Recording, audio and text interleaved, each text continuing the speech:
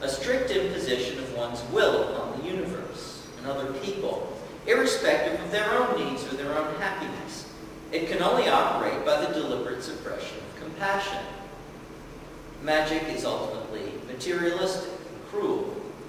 Religion, by contrast, involves the deliberate submission of one's will to that of a higher power. And this creates a relationship. It requires the acknowledgement of the real existence of another being, another sphere of being. So it has to introduce some measure of compassion.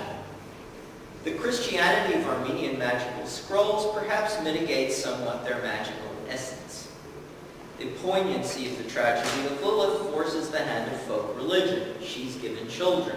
The magic worked against her, therefore, requires a good reason to become provisional, to work only for a certain number of generations, or only in a house where the requisite talismanic scroll is hung up high to trail down to the floor of the pregnant woman's bedroom, for Al, too, has her needs.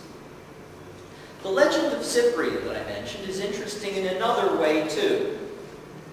As a magical text about a magician, it's as close as we come in the primary literature of the craft to authorial autobiography. Its salient feature is a career cut in half by failure and then galvanized by vision and subsequent conversion. And in its barest essentials, this describes the trajectory of many outsider artists and of the practitioners called Debteras in Ethiopia, whom I'm now going to discuss. The Debtera, the word comes from a Greek term for parchment, It's like, and remember that parchment is associated with scrolls, is like the Armenian Diratsu, an unordained Christian religious practitioner regarded as a sage. And he makes magical scrolls for Ethiopian Orthodox Christians. We have that picture. And here he is making one. There it is. And we're sort of looking down from his own head level here. And he's copying. There's, there's one that's already been made. He's considered a holy man in his community, but he can also inspire fear as someone abnormal. One Debtera, a man named Asres, is recorded as having had an initiatory dream. In it, a luminous being commanded him to eat the thigh of a hyena. Now you remember I've mentioned the hyena already as an impure animal, so this is a rather shocking thing to do. He did this with pleasure, however, understanding that God is capable of purifying the impure. It is St. Paul thought. There are several features of interest here. First of all, the initiatory dream. Did it exist in Armenia as well? Yes. The 18th century Armenian ashugh Sayat-Nova, minstrel, had an obligatory initiatory dream in which St. John the Baptist, the equivalent of the Muslim Khidr, taught him how to play musical instruments. In the medieval period, the poet Kostandin Erznkatsi had a vision of a luminous being before he became a master of the poetic art. So there's ample precedent in Armenia for initiatory dreaming when one begins a certain kind of secular career involving uh, imaginative labor. Although I don't know of any case for a diratsu. We have to try to triangulate. The command to Asres to eat something uh, long and impure is obviously sexual, and it represents a traumatic experience transformed into a positive one. And one is reminded forcefully of the So here he eats the leg of a hyena. Asres's communication with the other world seems to have continued over time.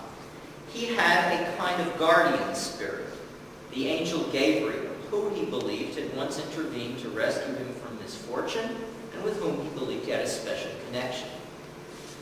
Tradition attributes to Debteras other supernatural experiences as well, in connection with their acquisition of the magical knowledge of their profession. Tawani, a 17th century Ethiopian liturgical poet and master of the occult, used to feast with invisible demons and was lifted up into the air once by unseen women and carried to Lake Tana, where he learned folk remedies. He made a talisman that kept the angel of death away from his house for a full seven years. And such talismans against the angel of death also recall the themes of some Armenian ballads, particularly the one of Prince Aslan, which I won't go into right now. But again, we have parallels in the other East Christian culture. In Ethiopia, a master of talisman making trains acolytes for seven years before they get a notebook, a defter, of their own. It can be a demanding job to be a deftera and a teacher. Asres, for, for instance, always wanted to study liturgical poetry, but never had time. The scrolls themselves are strikingly similar to Armenian Hmayils, down to the cross-hatched pattern and invocations of the Holy Cross. Yes, please. Thank you.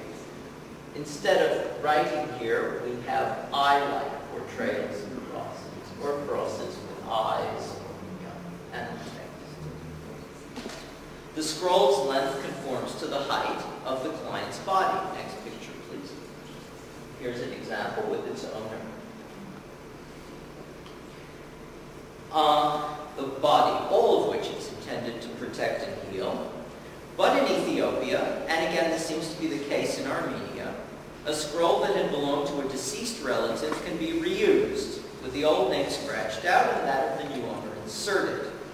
Scrolls are rolled up and kept in a case, under one's pillow or near an afflicted limb, or they can be hung vertically. Sometimes a priest visiting an alien, an alien parishioner in Ethiopia might read such a scroll as it hangs over a sick person's bed. A jug of water is nearby, and the priest will dip the cross in it while reading out a prayer, then blow on the water and sprinkle it on the patient. These practices might have had parallels in Armenia, but again, we lack testimony. With the modernization of Ethiopian society, the traditional role of the Debtera has slowly begun to disintegrate. One traditional maker of such scrolls, however, a man named Gedewon, who died in the year 2000, was befriended by the scholar Jacques Mercier. He began to work more freely as a creative artist, util utilizing the themes and skills of his own native craft, and eventually exhibiting his work in Paris. His paintings, removed from their traditional context, are now studied under the rubric of outsider art, where they find affinities with the canvases of other visionaries practicing outside the formal art world. What is certain is the similarity of the subject matter of the Ethiopian and Armenian data. Like Armenians, Ethiopian Christians consider Friday a day of special danger. I mentioned the Urpata here. The outsider artist Gedewon, I just mentioned, painted a special talisman for that day This is his Friday talisman, uh, done as a painting, though, no longer as a scroll. Like Armenians, Ethiopians regard the cross as a sign of victory more than as a reminder of Christ's suffering and tend not to portray the crucified body thereon.